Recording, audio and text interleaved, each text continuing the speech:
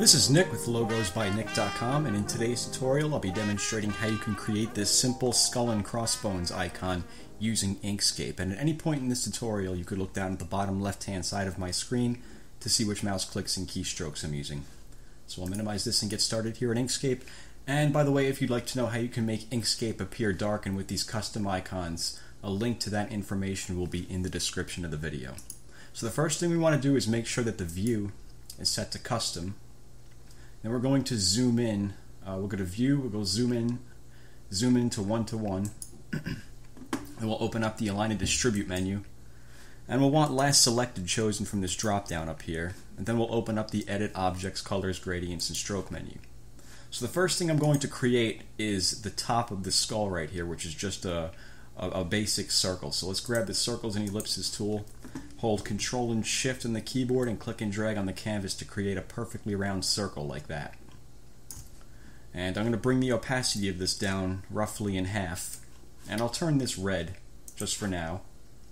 And then I'm going to go to the Select tool, and I'm going to right click this circle and go to Duplicate, and turn that black. And I'll hold Control and Shift and scale that down about that much. And I'm going to put this down here towards the lower left.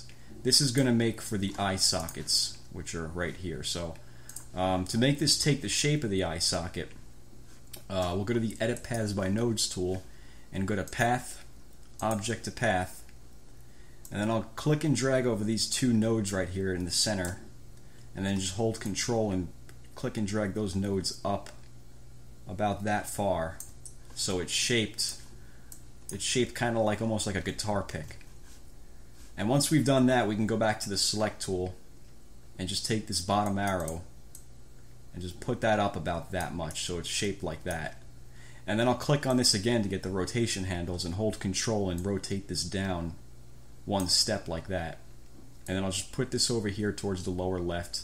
And then I'll right click that and go to duplicate click and uh, flip this horizontally and hold control and click and drag this over to the left. And then hold shift and click on the other eye socket and go to path union. So we have the eye sockets right there. We just want to make sure that this is centered up on that circle. So with this selected, hold shift and click the red circle and we'll click on the button that says center on vertical axis so it's centered. Click off it to deselect.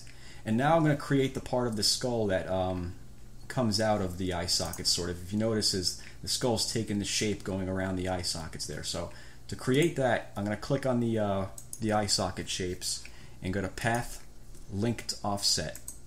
And I'm going to turn that red, and I'm going to grab this node and pull this out about that much.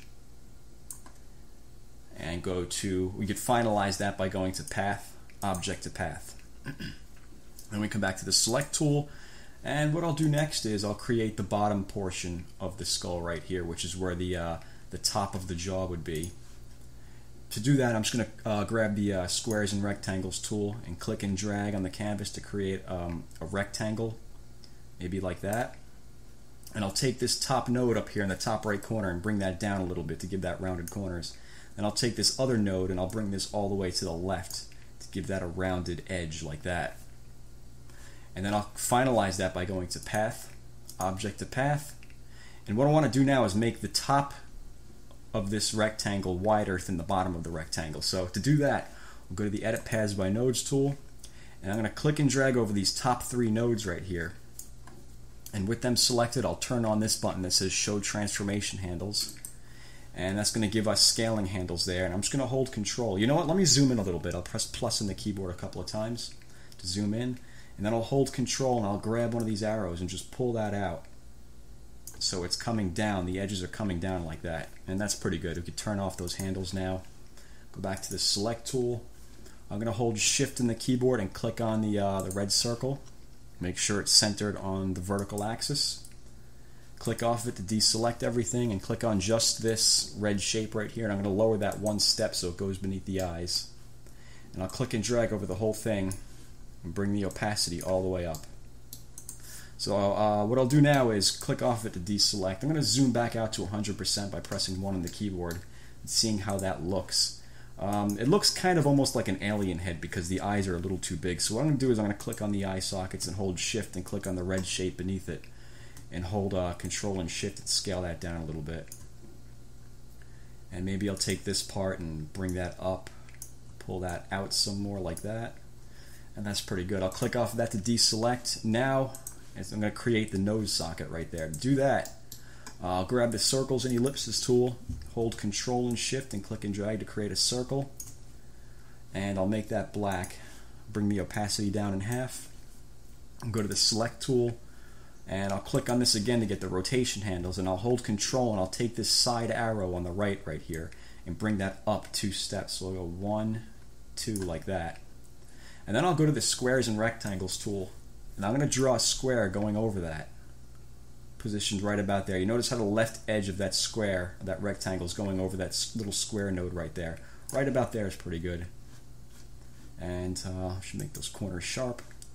And I'll go back to the select tool hold shift, click on that little uh, ellipse that we just created and go to path difference.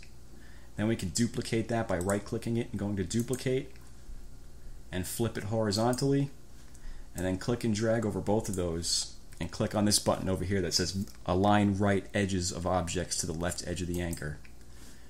And once we've done that, we can unify that together by going to Path, Union, bring the opacity all the way up, just put this over here. I'm just going to hold control and just scale this down like that. Now it's starting to look more like a skull. And I'll hold shift and click on this red circle up here and just center it on the vertical axis. It looks like it already is. So um, click off of that to deselect everything. And what we could do now is um, I'm going to click on each red shape individually. So I'll start with the red one up here and hold shift, click on the red shape going around the eye sockets and then hold shift and click on the other red shape down here and unify that all together by going to path union and I'll actually bring the opacity of that down a little bit for what we're going to do next so let me click and drag over all of that. Put this out of the way for right now. What we got to do now is uh, create the uh, crossbones. So to do that uh, let's grab the squares and rectangles tool and click and drag to create a rectangle like this.